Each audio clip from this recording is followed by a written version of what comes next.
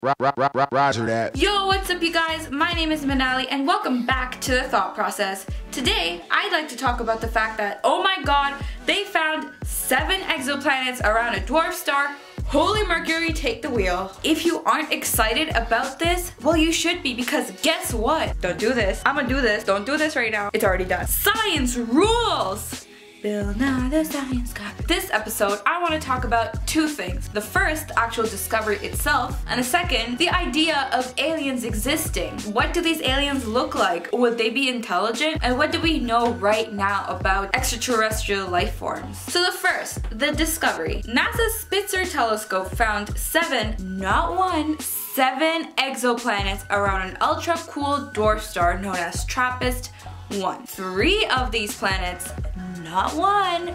Three of these planets are in the habitable zone. For those of you that don't know, the habitable zone is basically the orbital region that is not too close or not too far from the star for liquid water and chemicals such as oxygen, methane, and ozone to actually exist. Also, all seven of these planets are so close to this dwarf star that if you stand on the surface of one of these planets, you could probably look up into the sky and see the geological features of the other planet. Basically, it's like standing near the CN Tower in the TO, looking up and looking at Mars. How cool would that be? Another really cool factor about this is that they orbit the star at a really, really fast pace. So whereas it takes Earth 365 days to make its way around the sun, it would take what some of these planets only like a day or a day and a half to orbit around TRAPPIST-1. So let's go over the really cool facts about this system. The first, it is an ultra cool dwarf star, so it is much smaller than the sun. Second, there are seven planets and each of these planets is about the same size of the Earth. And third, three of these planets are in the habitable zone. Oh my god, aliens. The unfortunate thing is that it is 40 light years away. Actually, it's not so unfortunate because it is much closer than some of the other systems that we have tried to look for. But, I mean, 40 light years. You can't get to that, at least not in our lifetime. Although you can't send satellites and probes to the system right now, NASA has developed the James Webb Telescope, which in 2018 will search for chemical fingerprints of water, methane, oxygen, and ozone basically all the type of stuff that makes Earth Earth and all the type of stuff that lets us survive on Earth. So what does this all mean? Why are we constantly trying to search for exoplanets and different planetary systems and whatnot? Why are we trying to constantly expand our horizons? Well, because we are one species on one planet going around one star in one system in one galaxy. The universe made up of thousands and millions of galaxies is constantly expanding and it is vast. To think that we are the only planet that can sustain life in a measly little habitable zone is extremely naive. Which brings me to the second part of this episode. Right now, we can only look to one species that could exist on exoplanets, and that is bacteria. This is because bacteria has this ability to sustain in really, really harsh conditions. Some bacteria can do without oxygen, and some can live in very ammonia-rich environments. These are really, really, really dangerous conditions for something like humans or dogs or cats or whatever. But bacteria, they can sustain this.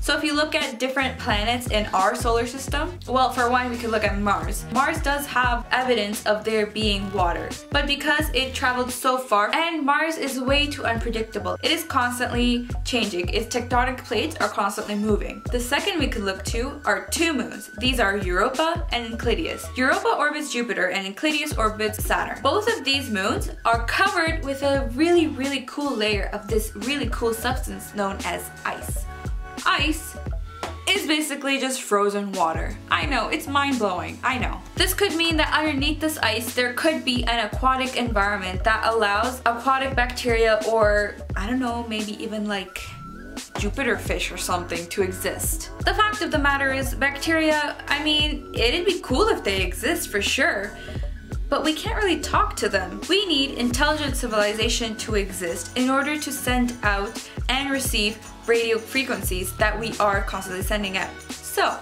intelligent civilization, how many could exist? Dr. Frank Drake developed this Drake equation, which basically hypothesizes how many civilization could be out there.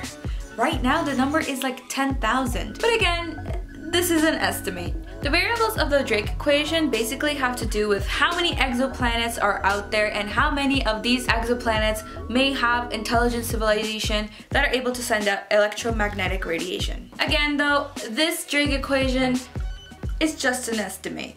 We can't test this out yet. This is why this part of the episode is a bit more abstract. What gets even more abstract is what would these aliens look like? We can turn to the theory of evolution to try and dissect this. In the most simplest explanation, the theory of evolution is two things, survival of the fittest and reproductive success. One trait that has been successful in every species is the structure of the DNA.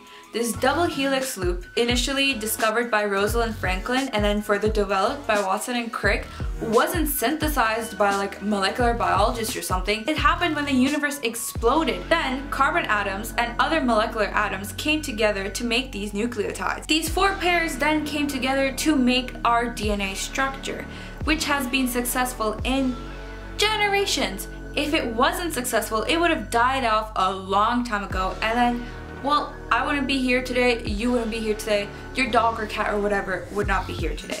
What this can tell us is that extraterrestrial life may have the same DNA structure. You know that movie Avatar, which is basically Pocahontas 2.0? Well, I know it's fictional, but James Cameron really didn't get the science totally wrong, I would say. It could be possible that a lot of the extraterrestrial life could look like life on Earth because, well, this is what was most successful in the environment. So it all depends on the planetary environment. Can I just say, if ET do exist, I really hope they look like more like the Na'vi than the ET in that movie, that really, really old movie. Cause that'd be so cool, big giant blue dudes. Like, whoa. Like I said, this is all theorizing and hypothesizing. And I'm sure if you read some of the literature out there, you will find thousands of theories and hypotheses that have to do with the same thing. This is why science is so cool, guys. Like, you have the theory of evolution, you have quantum mechanic theory, you have string theory, you have everything. So I really encourage you to go out there and explore these different scientific topics. And if exoplanets and aliens aren't your thing, that's fine. I personally really like to read different psychology, biology, and physics articles. Me and physics kind of have a rough relationship.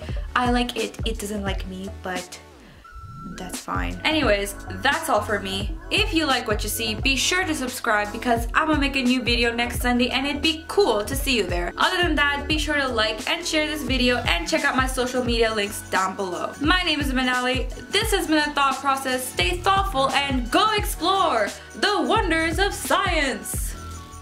Bye!